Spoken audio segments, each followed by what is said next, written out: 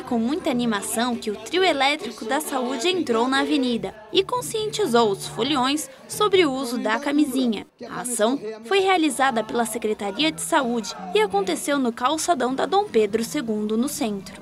Muita parte da população acha que não precisa se preocupar com a doença, mas na realidade não dá para banalizar. A AIDS existe, não tem cara, não tem cor, não tem raça, não tem idade e só mesmo a camisinha pode proteger da infecção pelo HIV. HIV, HIV, vai escapar de você, só camisinha pra me proteger. Em ritmo de carnaval, as marchinhas falaram de prevenção.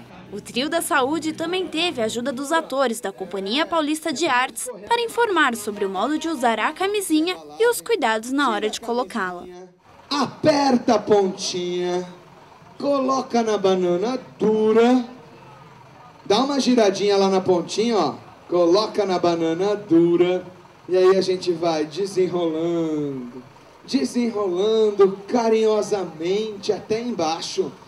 Neste carnaval, a Secretaria de Saúde distribuiu mais de 50 mil preservativos para a população e quem estava passeando pelo centro aprovou a ação e caiu na folia. Que use bastante camisinha, não dá moleza. Criançada tá fazendo só filho, né? Então põe a camisinha nas crianças e nos adultos também. E nos idosos também, que funciona ainda.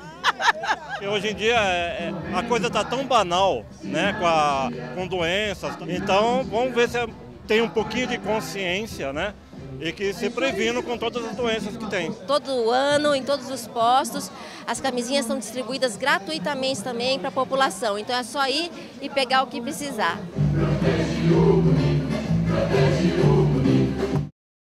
Quer saber mais sobre Guarulhos? acesse o site www.guarulhos.sp.gov.br.